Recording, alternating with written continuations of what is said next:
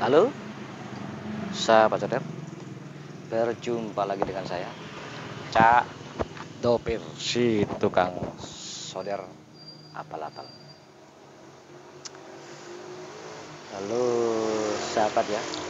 Lama tidak jumpa ini karena sibuk dengan kerjaan. Kerjaan double-double. Kali ini saya akan memberikan tip cara ataupun tutorial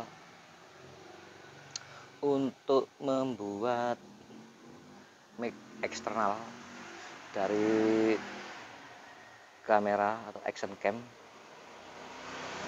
Untuk kali ini dengan mereknya Akaso ya. Akaso Brev 4 ini Akaso Brev 4 4K karena tidak adanya fasilitas eksternalnya. Jadi ini akan saya modif untuk pakai mic eksternal. Yang nantinya mungkin ini siapa tahu bisa berhasil ya. Bisa digunakan pada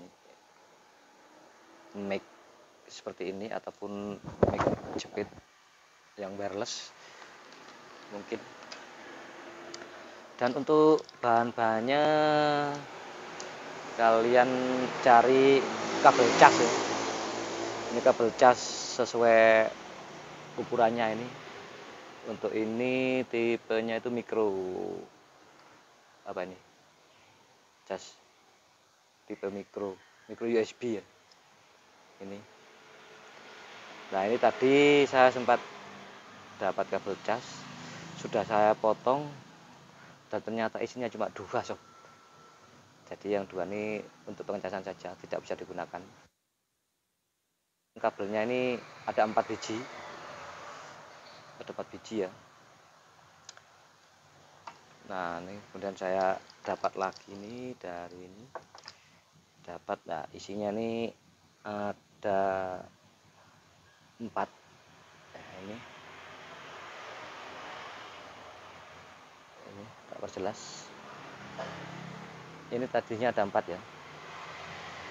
Karena patah satu tapi tidak apa-apa bisa digunakan karena yang digunakan hanya dua. Untuk sisi yang sini ya. Sisi yang sini dan juga yang ini yang digunakan. Uh, nanti saya perjelas dulu. Untuk bagaimana posisinya nanti akan saya kasih video yang jelas dan juga kalian mencari soket mic ini. Soket mic kecil. Ya untuk ukuran jack yang akan digunakan ya. Biasanya biasanya 3,5 ini. Nah ini. Cek wanita nih cek laki. Nah, ini lakinya nih ceweknya. Lah ini. Dan kalian cari yang jumlahnya ini ya memang minimal dua lah. Ada min plus. Ya kalau ini kan ada tiga ini stereo. Karena ini stereo ya. Tapi yang digunakan cuma dua. Oke ya. Semoga dapat dimengerti. Dan sekarang akan saya lanjut ke prakteknya ya sob. Dan juga nanti akan saya uji coba juga. Oke ya Jangan lupa untuk menekan tombol like dan juga subscribe biar saya semakin semangat untuk menyoldernya. Oke, let's go. Oke sob, saya lanjut videonya ya. Nah ini untuk gambar jelasnya seperti ini ya. Saya fokuskan dulu lah ini.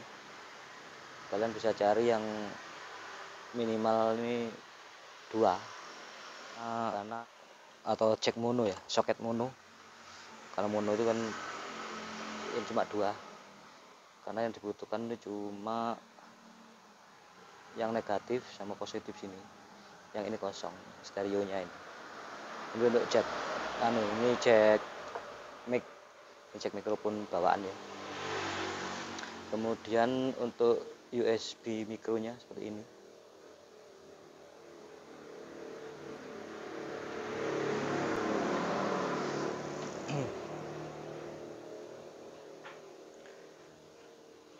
untuk arahnya seperti ini sob.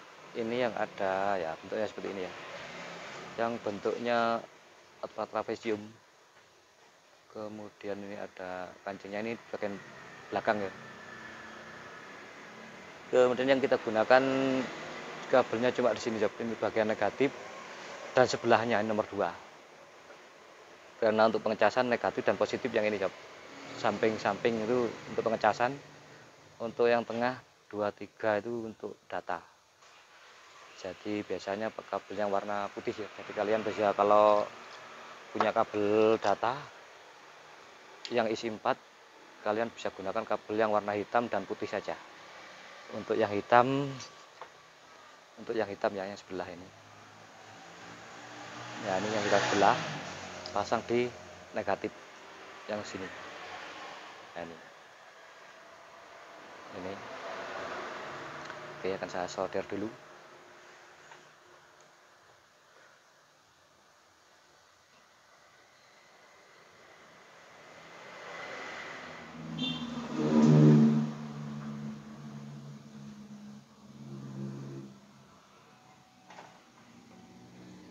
Ya jadinya seperti ini sobat saudara ini ya. Yang nomor satu dan nomor dua kemudian untuk yang nomor satu ini nomor satu negatif atau kabel warna hitam itu kalian pasang di sisi luar ini. Kemudian untuk positifnya kalian pasang di dalam untuk bagian. Untuk yang ujung ini coba pucuk ini coba ini pangkal dan ini ujung ya. Untuk yang ujung jack 3,5 ini adalah positifnya dan pangkalnya ini adalah negatif.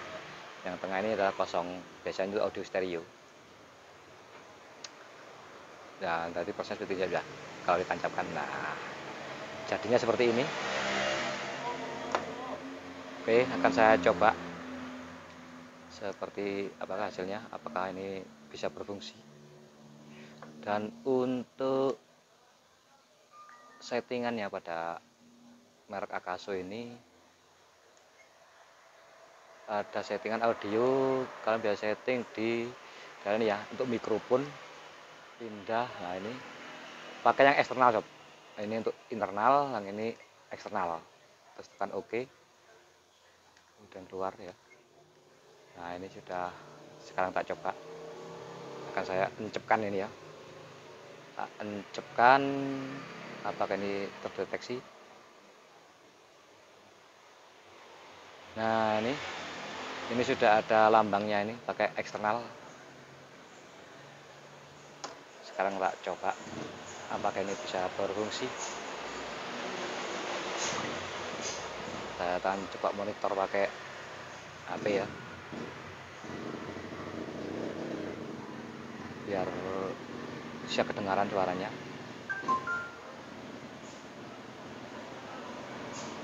Pakai aplikasinya yang di HP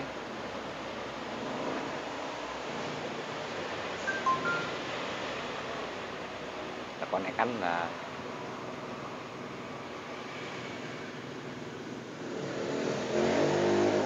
Nah ini. Ini sudah connect ya.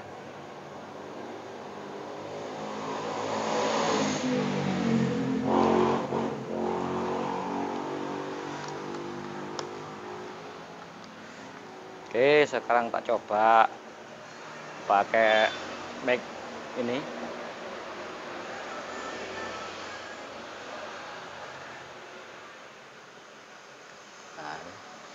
Coba record. Oke, tes 1 2 3 3 2 1. Tes mikrofon eksternal untuk Akaso buatan sendiri ini. Checking checking 1 2 3.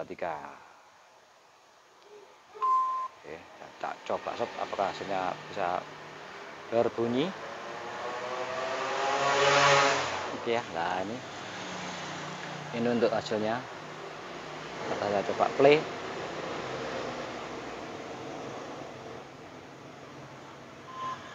Oke, tes nah, ini. Tes mikrofon eksternal untuk Akaso buatan sendiri ini checking checking 1 2 3 ya jadi seperti itu sob hasilnya sob ternyata hasilnya persis juga. Untuk hasil kejernihan dan juga hasil suara yang bagus itu bukan ditentukan dari rangkaian ini tapi ditentukan dari kualitas mikrofonnya ya. Oke jadi seperti itu ya sobat soder. Hasilnya. Saya ulangi lagi ya untuk hasil jernih atau tidaknya suatu audio itu bukan dari kualitas yang kita gunakan. Ya ada sedikit pengaruhnya. Tetapi yang lebih menentukan itu adalah peralatannya atau jenis mikrofonnya. Karena ada harga ada kualitas WD dan catatan ya. Agar suaranya itu lebih bersih kalian harus menggunakan kabel seperti ini. Ini jenisnya kabel skern jangan pakai kabel biasa kabel biasa yang dua buah itu bisa digunakan tapi suaranya kurang bersih. Pasti ada noise-nya ada dengung atau merosok atau ngowos itu biasanya. Jadi kalian harus pakai standar audio ini. Ini kabel standar audio skern namanya kabel skern ya isi tiga atau juga yang isi dua juga ada. Ini juga lagi ini ya hasilnya. Jadi kalian bisa beli di toko elektronik namanya kabel skern oke sob Oke sob, jadi seperti itu ya tutorialnya membuat mic eksternal dari action cam Akaso ini. Semoga bermanfaat. Sekian dan terima kasih. Wassalamualaikum warahmatullahi wabarakatuh. Pak News. News.